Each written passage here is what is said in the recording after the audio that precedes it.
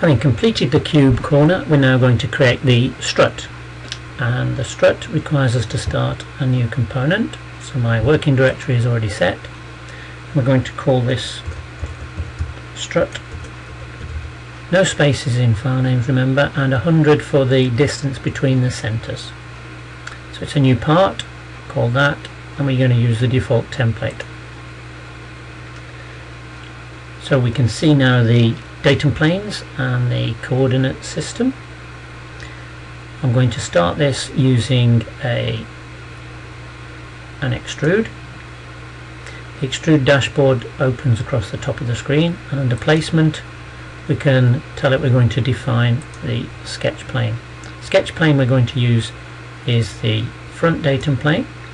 So as soon as I click on the front datum plane it populates the sketch dialog I can click on sketch to begin sketching. The features toolbar is replaced now with the sketcher toolbar on the right hand side of the screen and temporarily the dashboard is greyed out while we're creating the sketch. The sketch will be located at the centre here and you notice we've got two reference lines just like we did when we have the corner cube. We're going to use a circle command. Click on the intersection between the two reference lines and draw a small sketch. That's all we need in terms of lines so we can use the arrow tool to change the diameter of the sketch to 8 millimeters. This is going to be the peg that fits into the cube at either end. I'm happy with that so I can now click on the blue check mark in the sketcher to return me to 3D and the dashboard you'll notice is now active.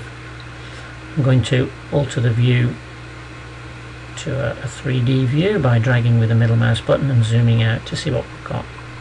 We've actually got a very long strut so I can alter the length of the strut either by manually dragging with the um, drag handle there or by changing the value here and the finished strut needs to be 90 millimeters long but we don't need it from one direction from this front datum plane where we drew the sketch we wanted equal distance either side. So we changed the value in the drop down list here from a blind uh, depth to one that's equal distance on both sides of the dash of the um, sketch plane. And we're happy with that. So we can click on the green check mark and the extrude feature is added to the model tree. We want another extrude and again using the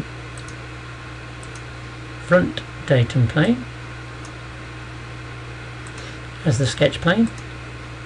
This is going to be the larger diameter circle. And circle command a little bit bigger. Use the arrow tool to change the radius at the diameter to 12 millimeters. We can see how that's sketched at the center of the strut so when I finish doing my 2D sketching I can click on the blue check mark to finish the sketch take us back to the extrude dashboard. And again we want to be symmetrical about the sketch plane. And this time we want a distance here of 70 millimeters. When we're happy with that we can use the green check mark in the dashboard to complete the feature come back and look at it in say a trimetric view. Make sure that we remember to save work regularly and you're ready to continue to the next step